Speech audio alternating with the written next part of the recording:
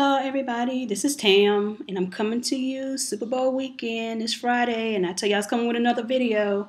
Yeah, Pete, I got this shirt on to celebrate the Super Bowl. Um, just gonna get into that real brief. Um, who I got in the Super Bowl? I like the Giants in the Super Bowl, but you never know because Tom Brady has a lot to avenge. So we'll see. We'll see what's going on coming up this weekend. So good luck to both teams and I hope it be very entertaining. I don't like blowout Super Bowl, so yeah, I hope it gets better this time around. Um, well, the other day I was watching ESPNU, and they had the National Signing Day, of course, which was on my birthday. And oh, again, thanks to everyone that wished me happy birthday for my birthday, and I really appreciate it. The text, the calls, and everything. I love y'all. Thanks. And um, you made a little girl feel special. Thank you. Um, back to National Signing Day. Um, I it was like a 10 hour event, 10 almost 12 hour event. This is my thing about that. These young guys, when they do things like that, it kind of gives them a sense of celebrity. Yeah, they done good in high school and things. You really haven't done anything yet. And let truth be told that a lot of these guys that are like these top 150s or whatever, or like these five star recruits or whatever, end up being more like a not the star, like a bust, you know. Because truth be told, recruits, lower recruits such as Jason Pierre Paul and other recruits like that, and they don't, they end up being great in the NFL, and the other guys they end up being kind of like bust. I I haven't went back into the research on that, but there's a couple of them I know like personally that I watched sign, and they didn't they got all these accolades and ranked in the nation, and then when they got to college, they didn't quite cut it. And some of them didn't even get drafted in in the NFL, so that's something to think about as well. But I just think it's just a big old hoopla about nothing, basically. Um, back to the Super Bowl, I'm kind of irritated because the focus is not really on the teams. It's what's going on mostly about what's going on between Irsay and Peyton. And I think it's not fair to Eli, personally. Um, so I really need for Peyton to have a seat, him and Irsay. Just say, like I said before my last video, no comment, go somewhere and sit down. I can understand it's in Indy, but this doesn't need to be the main story. The main story need to be about who's who with the Patriots and the Giants. That's it. And I don't know.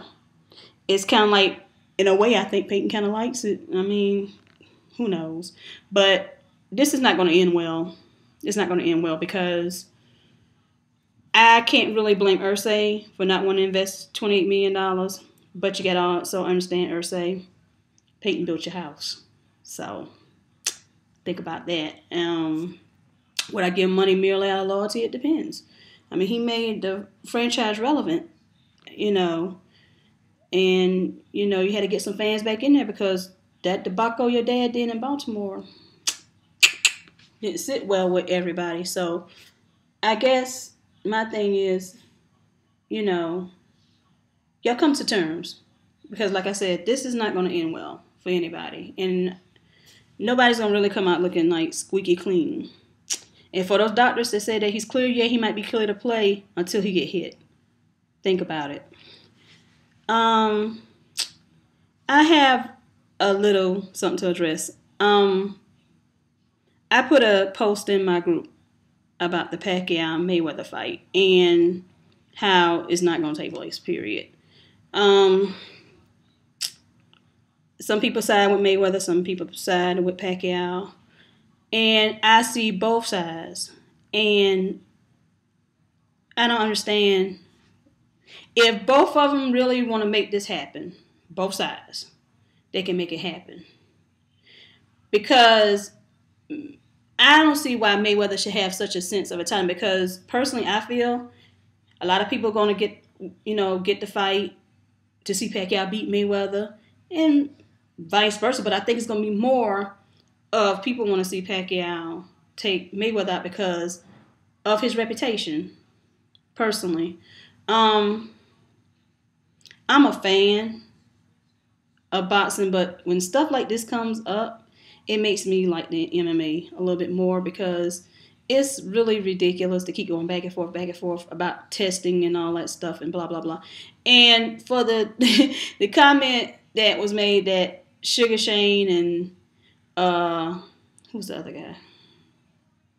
Well, Sugar Shane and whoever else who they agreed to um Mayweather terms. They gotta come to agreement, but personally, being honest, I don't even think this thing is gonna happen. So I'm not gonna hold my breath for it, and I suggest you don't do the same because there's a lot of egos involved, and I think there's too many people involved, especially when it becomes between Arum and Mayweather's camp. It's a lot of bad blood in there, so we'll see. We'll see what happens. Um, uh, listen to my local sports talk radio uh, again this morning, and they were talking about Cam and Cam is like really like on a lot of national stuff, and he doesn't really do like local stuff here, like interviews or whatever. First of all, when Cam was drafted here, a lot of people didn't like it. I didn't like it either. Um, because I wanted Patrick Peterson because I felt like, but Panthers need a little bit of everything. But I think with Patrick Peterson being a kick returner and things, you get like three and one. And Cam came and he proved me wrong, and I'm happy about it. Now they sitting up here talking about Cam doing national stuff and Cam you know, won't talk to local media. A lot of y'all were rude. I'm just being honest. A lot of you guys was rude when he got picked. And and also you gotta understand he has a Gatorade contract. And with the Gatorade contract, that looks good for the Panthers. It put the Panthers on the map. Um, also, Charlotte used to, especially in the basketball sector, Charlotte used to be like really big up there because we had Larry Johnson, Alonzo Mourning when we were the Hornets. And Okay, Larry did Grandmama. Nobody seemed to have a problem with that, you know. And I don't know. I don't see what the problem is. I think it's a lot boils down to it's the man that they don't like. I don't think they don't like what he's doing. I just think they just don't like the guy. But Cam, keep doing what you're doing, and congratulations on your endorsement from Gatorade. Go and make that money. I ain't mad at you, bro. Make that money. Um, also, I want to discuss um, a little bit of NBA um, and tell Dwight Howard, um, can you be quiet again? Thank you. Nobody want to hear what you got to say. Now you tell me you want to go to the Bulls. Please, if you just, just just leave. I think after All Star break, I think a lot of stuff about to shake down after the All Star break. Personally, between him and Orlando, because I think he kind of like sticking it out because he don't want to get booed or whatever. But um, I think he'll get booed anyway, personally. But um, I think he don't want it to look bad on the franchise or whatever. And well, you're ready to lead a franchise, it looks bad anyway. So go figure. Um, I don't know. I don't know. Um, shout out the Sixers are doing well. Boston's trying to get a little run going. We'll see how it goes. Um, we'll see when Rondo comes back. I think he comes back tonight. We'll see um, how they play with Rondo. But Avery been holding it down. Um, OKC, they're holding it down as well. And since we're on OKC, the Blake Griffin, the infamous Blake Griffin dunk. Yes, the dunk was decent, but it wasn't Shawn Kempish. And if you don't know how, who Shawn Kemp is, Google him. He's like one of my greatest power dunkers I ever seen. Uh, between him and I like Vince Carter as well, and and right right now I like Iguodala when he's a power dunker. Um, yeah, so check him out. Shawn Kemp got some dunks that'll make Blake Griffin don't look like a hot mess, basically. Um, there's not too much else to discuss. Oh, let me do my condolences to the family of Don Cornelius. As a little girl, on Saturdays, I used to get and watch Soul Train. Um, Soul Train was a great mark for you know R and B music, soul music. Um, he paved the way for a lot of artists such as Tina Turner, Aretha Franklin, James Brown, Al Green, you name it, he did it. So I want to send condolences to his family. Um, suicide is sad. It's very sad, and um, I don't know what could contribute. Obviously, something was going on there that he felt like I want to end it all, but